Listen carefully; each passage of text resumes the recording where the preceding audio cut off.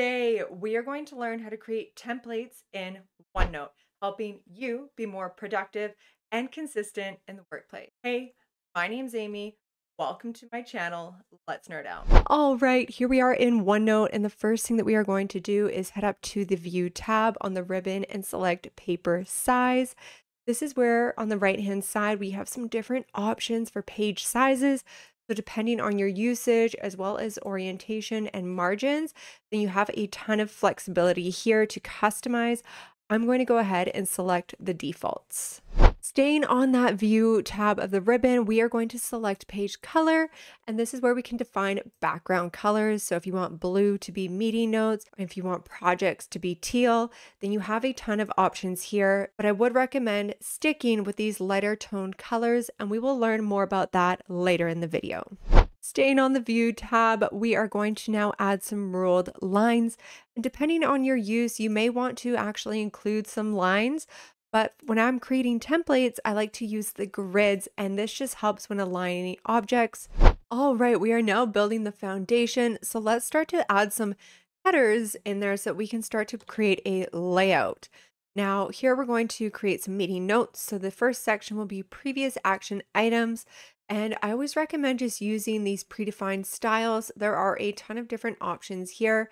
I'm going to go ahead and select heading 2 and this will just create consistency on your templates. Now we are going to add a table beneath this header. So let's first start off by typing the column name and then simply pressing tab and that creates a table for us.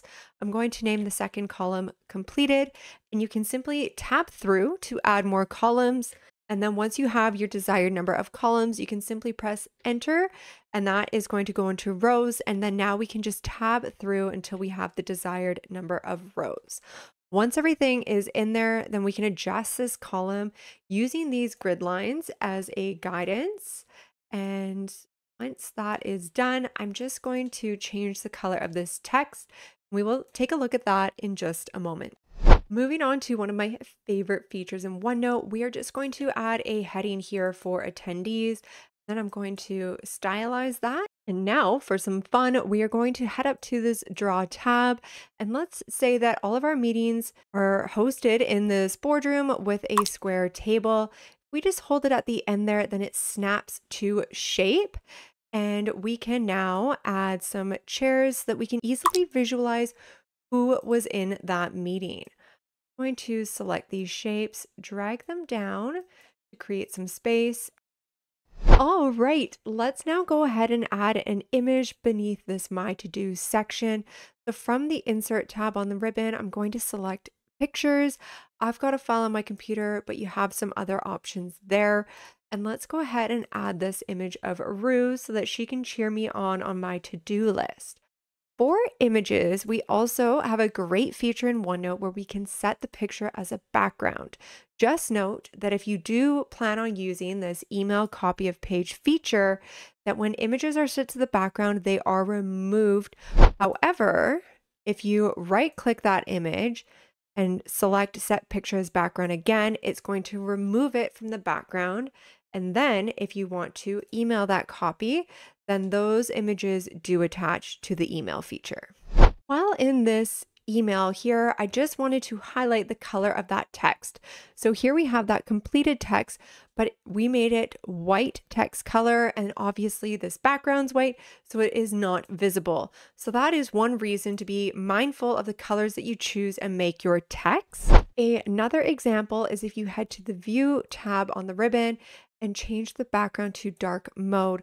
Once again, that white text has now reverted to dark and we're not able to see it on the background. So just be mindful when you are changing the color of your text. And if you are enjoying this video, then I would absolutely love it if you could please give it a thumbs up as it really helps it get traction in YouTube. And once you are happy with your template, then we can just go ahead and change that back to regular view and remove those grid lines. From here, we can now go to Insert and select Page Templates. From the bottom here, we will see Save Current Page as a template. So we select that, we will give it a name, and this little checkbox here set as default template for new pages in the current section. Let's go ahead and click that. Now, if we go Control N, we will get a new page and that has automatically defaulted to this page template. Then if we go to a new section, we can access that template under Insert and then Page Templates once again. And you'll see here that these are all of the templates that are available within OneNote, starting with this top section, which is My Templates. And you'll see here that that video meeting template that we just created is right there. Below here, OneNote and Microsoft have created a several other templates at your fingertips and they are grouped by category. So for example, if you wanted to select this history class notes, then you can even use that template. And for example, if you didn't like this background image, then we can do that trick once again to remove it from the background and then you could save this as a new template. And as a little bonus tip, let's say that you create a notebook and it has all of these sections and all of these pages and it is the ultimate template. Then if you want to basically make a template of that notebook, we can first head on up to File, and then here you're going to see all of your active notebooks. And from the settings drop down menu of the notebook that you want to make as a template, we can select properties. And from here, we will locate where this OneNote file is stored. In our case, it's in operations, which is a SharePoint site, and it's under site assets. If yours was in OneDrive, then it would be stored in OneDrive. Here I'm in the SharePoint site for the operations team. And under site contents, then we can navigate to site assets. From here, we can select the notebook. And from the ellipses, we can say copy to. We will copy it to the same location select keep both and we will just rename this notebook from the ellipses we will select rename and then we will just give that a new name. So once again, if you haven't already, then please give this video a thumbs up. If you want to learn more OneNote tips, then I would highly recommend checking out this video here. It combines all of the features in OneNote into one simplified video with strategies on taking better notes for retention and increased productivity. In that video, we also go over the Cornell method, which was derived in the 1950s and is still a very common note taking template. So we have cues on the left hand side, your main notes in the middle pane, and then summary at the bottom.